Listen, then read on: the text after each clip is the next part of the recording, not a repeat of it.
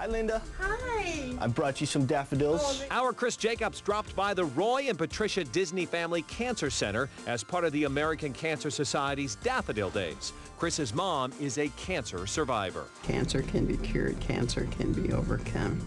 And as my mom likes to say, it's a speed bump, not a roadblock. How about it? I Yeah. do agree totally, totally. To learn more, go to cancer.org.